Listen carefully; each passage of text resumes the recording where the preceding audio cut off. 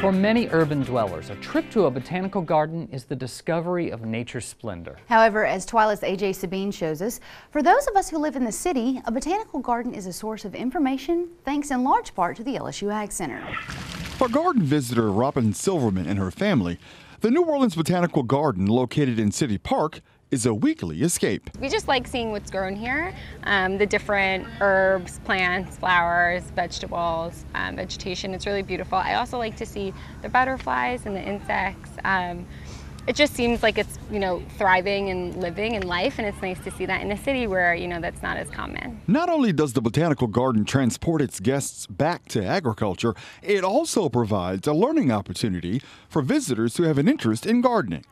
LSU Ag Center County Agent Joe Willis. There was a pepper trial of both hot and sweet peppers that we ran during the season, growing season here, that people could come, they could see, they could see what did well, what didn't do well, growing here in the New Orleans environment. Uh, they have various locations in the Botanic Gardens itself, uh, particularly where there are shade gardens being grown, there are butterfly gardens or pollinator gardens being grown, there are aromatic gardens being grown. Just if you want to grow stuff just for the way things smell, you can see what does well here. You can actually see how it's grown, the type of look it's going to give you, and the results you're going to get. LSU Ag Center Extension Agent Anna Timmerman explains that the Botanical Gardens is the perfect classroom for do-it-yourselfers. So with the workshops and any kind of training or phone calls that we get, the public is available to call us anytime. It's a free service. Um, we get a lot of questions about how do I even start? You know, what are some easy things I can get started with? We have all that information. Um, we also have recommended varieties that work for our area specifically that we can give to you.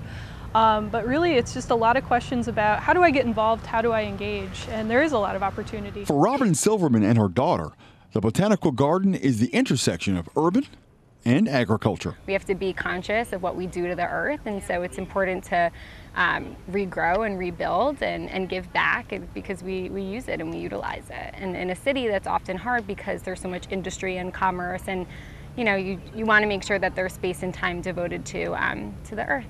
From City Park in New Orleans, I'm AJ Sabine for This Week in Louisiana Agriculture.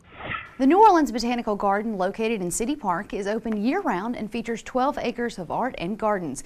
If you're a Louisiana resident, you can check out the garden absolutely free. For more information about the LSU Ag Center and the many classes held at the garden, you can log on to our website at twilatv.org.